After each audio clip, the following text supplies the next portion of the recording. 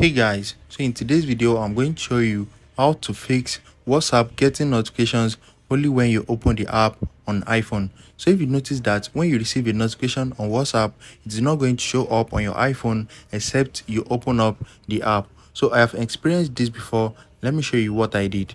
The first thing is open up your settings and you need to scroll down and click on general.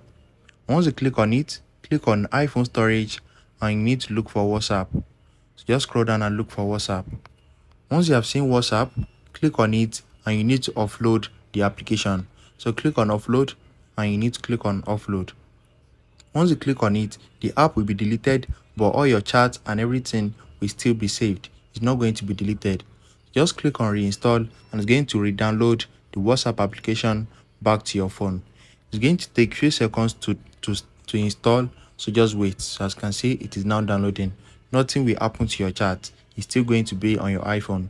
Another thing you can do is head over to your settings again and you need to look for notification. So just scroll down and click on notifications. Once you click on it you need to look for whatsapp right here.